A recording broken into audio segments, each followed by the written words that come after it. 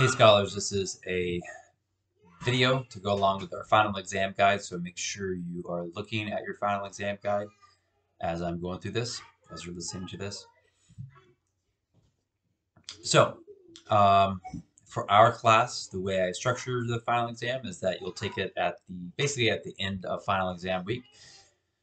So final exam week is uh, this upcoming week, today is Saturday. Uh, final exam week is, uh, I think it's technically like Sunday through Friday or something like that. But anyways, the last day of finals is Friday.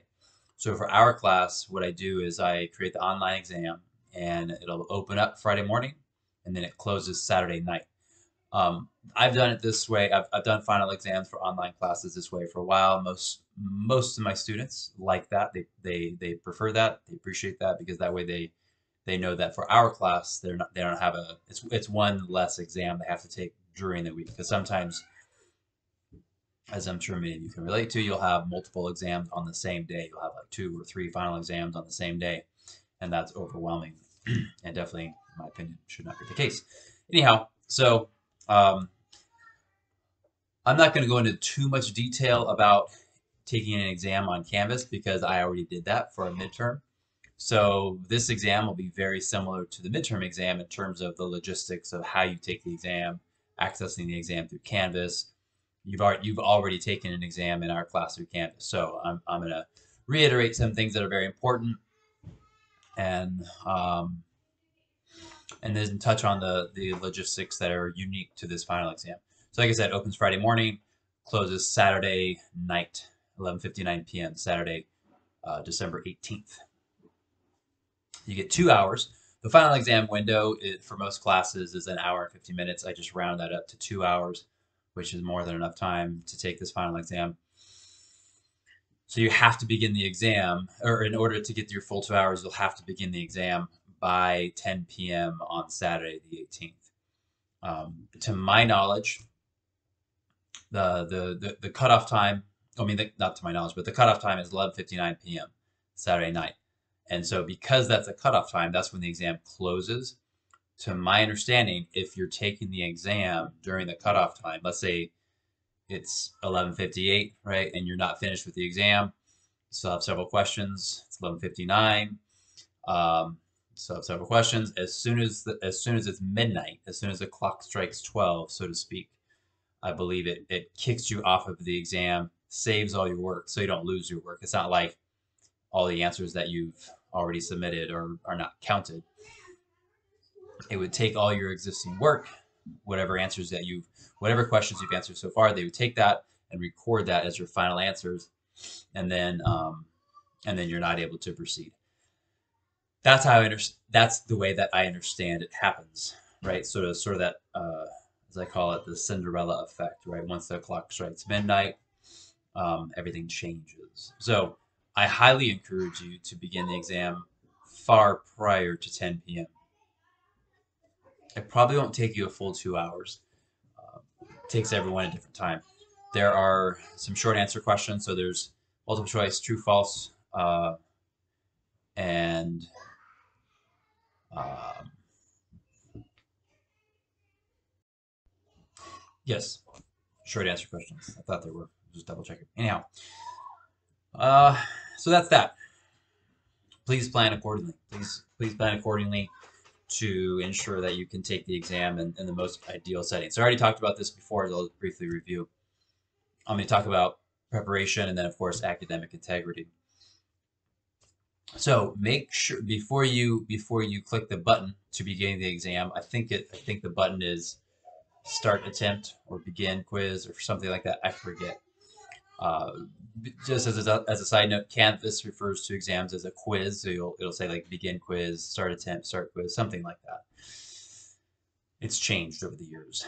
But anyhow, before you click that button, make sure you have everything you think you'll need, everything that you'll need during that exam time. So all your notes, your textbook, battery charger, if you're using a laptop, water, snacks, whatever, like you think through everything it's not like you can't stop, right? I mean, the, the, the clock keeps going, but I would say, um, you know, just, just think through everything. Even, even things like, uh, make sure your, make sure your screensaver, you know, that the, if you go to settings, adjust the time for when your computer goes to sleep.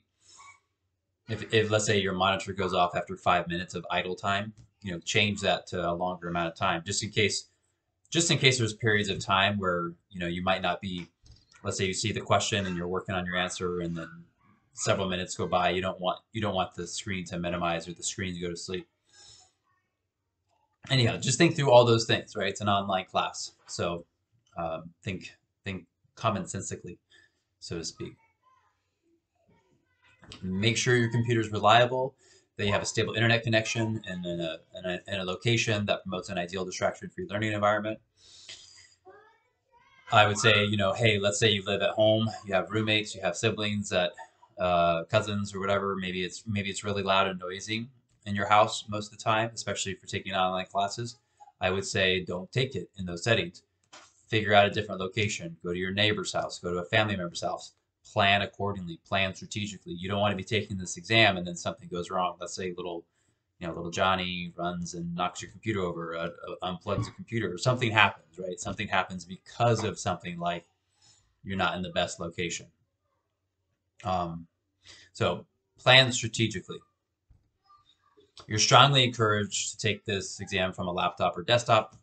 Uh, you're strongly advised not to take it from a mobile device like your mobile phone or a tablet device. I, as I mentioned in other videos, the other video, midterm exam video, uh, I've had students over the years taking online exams who they, they tell me they ran into a problem or they got kicked out or something went wrong. And in those situations, most of the time they're using a cell phone cell phone or a tablet or something like that. Um, so make sure you don't do that. That's my advice to you. Um, the way I recommend studying, I have I have a list of all the sections from our textbook that you should study. What I recommend in the past is for each section, for each chapter that's on there, I, you know, not all chapters are covered, of course. It's not a cumulative test, so you're only only the chapters that are listed on this exam guide is what's going to be on there. But I first recommend that you re re review the entire chapter, review the entire chapter first, and then go in and sort of cherry pick those specific sections that I note on the exam guide. And then from there, you can create an exam guide. The way I do it, type it. I don't just summarize the entire book, I don't summarize those sections, but I put things into my own words. I write out definitions, I write out key terms, I explain things, I write things in a way like sort of free flow consciousness. I I'm not really concerned about spelling or grammar, syntax, anything like that. I'm just more so concerned about do I understand this material as I'm reading it in the textbook? How do like how do I understand it? How could I explain to someone else? What can I connect it to in my personal life or in films or TV shows or in sports or in relationships? right? I'm trying to make sense of the material such that when I get those questions on the exam, I have a better, a higher likelihood of getting the answer correct. Because if I understand it, then I see it in a question, now I can answer it better. Of course, it's open book, open note, open internet. So um, you're definitely advised and encouraged to to be really strategic with how you organize your your notes in your book. You know, have have uh, uh, post-it notes have have something have, have some sort of system where it's where everything's labeled. All the different sections and chapters are labeled in the textbook. So that way when you're actually taking the exam you're not having to thumb through the back of the book or the references or the index or table of contents. You have it all organized ready to go there and of course if you have a really detailed final exam outline or st like study guide outline that you created if, if that's really detailed it's that's that's probably going to be your main source of where you get your answers from. And of course, looking at all your notes from the the um, all the lectures that that we had. Now, obviously, not some of the chapters that are listed on the exam guide. I didn't post lectures for those, but you know, you still obviously were required to read those chapters. So for those, I take that I take into consider the in other words the the chapters that are listed where I didn't provide a PowerPoint lecture and video on Canvas for those chapters, I, I obviously take that into consideration with the types of questions that I construct and the kinds of questions that you're tested on. And so there's no PowerPoints that you can study from that. But for the other chapters where we did have PowerPoints, I definitely recommend that you review all your notes from those PowerPoint lectures, PowerPoint videos. Um, and and then of course as well review the or do the study for the sections that are listed on the study guide. So that's that in terms of um, studying. Yeah.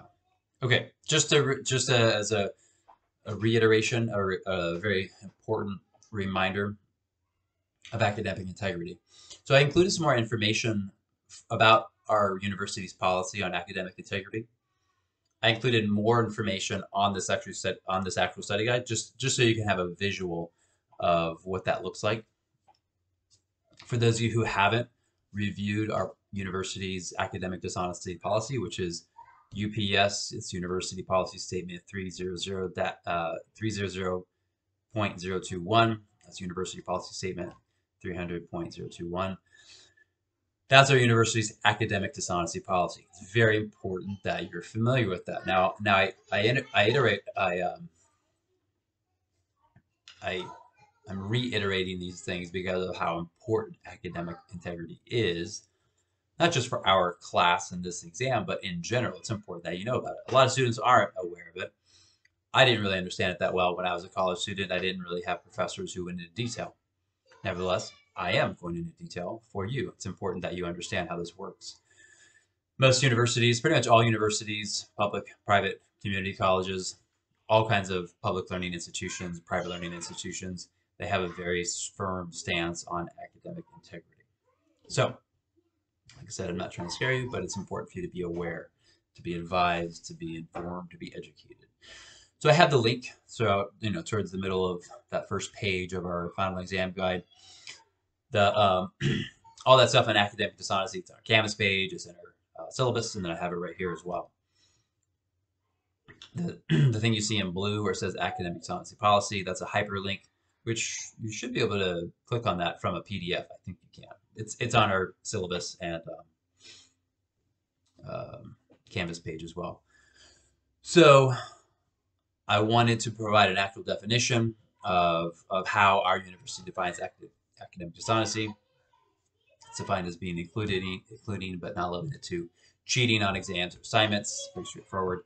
Unauthorized collaboration. So if you got help on an assignment, it was unauthorized, like you're collaborating on assignment with someone else and you and it wasn't authorized. That's that, that could be an example. Plagiarism is presenting presenting work as though it's your own without giving credit to the author. So that's why it's so important to cite sources in papers and cite your sources in a public present in a speech, right? Um, you're giving credits where credit is due, source citations. And then falsification or fabrication of university documents. I'm not too familiar with that one. And then this one is very broad, right? Any act designed to give unfair academic to give unfair academic advantage to the student, such as submitting the same assignment for two courses. But that that I, I highlighted that term, give unfair academic advantage that can be applied, that can be interpreted in a number of ways, and that can be applied to so many different contexts. So that's why um, for this exam, and then all your work, you know, in general, but for this exam, I say it's open book, open note, open internet. The only thing you can't do is cheat. So you're not permitted to get any type of assistance from any person whatsoever. Right? You can use your books, you know, your notes, the internet, as long as you're not cheating. If you use the internet to get help from someone else, that's cheating, right? But if you use the internet to get information on a term or a theory or something that's in the in the net in the in the, um, in the study guide, that's something from our textbook or something that we learned in class. That's not cheating. You're just reading about that particular term. But if you're using the internet to access some sort of to access some sort of website or email or whatever, then that is the the way you're using the internet to give you an unfair academic advantage on this exam that would fall under the category of academic uh, dishonesty. But yeah, that, that term is pretty broad. Um, and then they say assisting or allowing any of the above acts or the attempt to commit such acts. So it's pretty intense, right? It, it should be, and and you should be aware of this. You should know how this works. Basically, if you're honest, if you have integrity, and you're and you're doing all your own work, and you're not you're not soliciting help from anyone else whatsoever, you got nothing to worry about. Um, you know, if you were found guilty, so there, like I said, it's good for you to review this document, the three, the UPS 300.021. You should review that document, be familiar with it.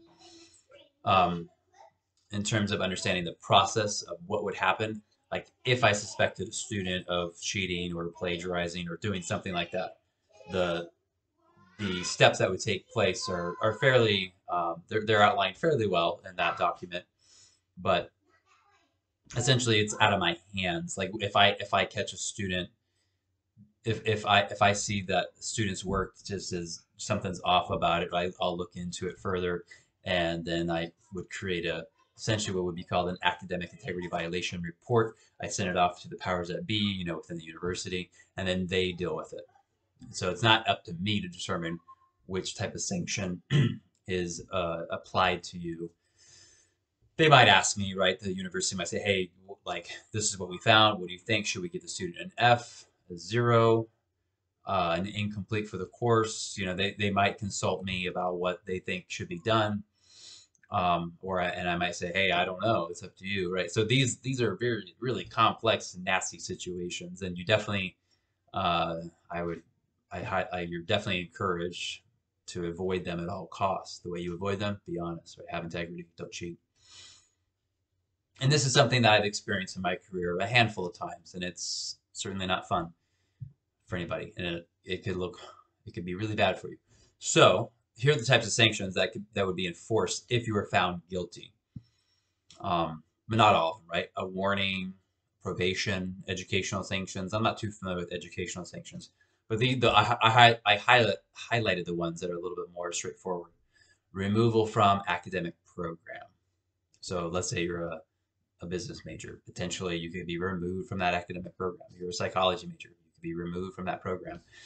Um, that's one possible sanction. Suspension from the university or expulsion from the university. You might be suspended for, let's say, a semester. They might say, hey, for an entire semester, you can't be part of this campus, this university. Um, I'm just throwing that out there. I don't know exactly how these work, but these are the types of things that are coming from our university policy statements. Expulsion from the university means, hey, you're kicked out, cannot come back. Denial of admission or enrollment in university classes. So um, you just they just won't allow you to enroll in any classes, including extended education. So it's pretty serious stuff, right? Um, that's why I don't want that to happen to you. That's why I'm informing you and educating you on the process of, that our college takes place, that the, the, the processes that our college uses and utilizes to handle these types of situations. I emphasize this so much because this is a, uh, an exam that you take at home, you're by yourself, so there's a, a greater um, you know propensity for students to potentially cheat. So please don't, and you'll be fine if you don't. Okay. So that's that. Um, I have all the the sections to study for the chapters. You got all week. I think that's about it. Um, I, I, I wish you all the best during the final exam week. For some of you, this is your very first semester uh, as a college student. And for many of you, especially for those of you who are it's the first semester, whether it's your first, second, third, or fourth semester, final exam week is pretty stressful, right? There's so much on your plate. You're juggling so much. You're probably not sleeping as much as you should, and you're, you're just oh, your brain is overworked. My brain's overworked. I got a lot going on. We all do. So I encourage you all to do the best that you can. Make sure you do sleep. You know, don't don't pull an all nighter. Some students do that, and from I've had so many students share with me their stories of pulling all-nighters and how it was absolutely awful. They did far, they performed far worse on their exams than they thought. They couldn't sleep. They felt horrible. It was just an absolute nightmare. So please don't do that. Uh, your body needs sleep. I had one one uh, instance in my life where I pulled somewhat of an all-nighter where I was I was up till like studying till I don't know, four in the morning, and then I slept for two hours, and I woke up at six in the morning, and then continued studying, and I did horrible. I did. I got. I got a D, or I think a, a C minus or a D on the exam that I was studying for, and then, and then later that day, I had to work, and I felt absolutely awful at work and just like nauseous in my head.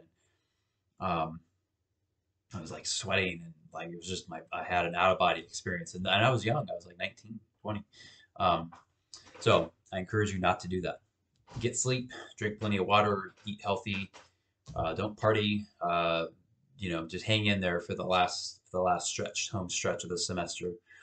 A lot of students I have, I currently have uh, about 160 students or so, something like that, roughly 160 students between uh, both colleges I teach at.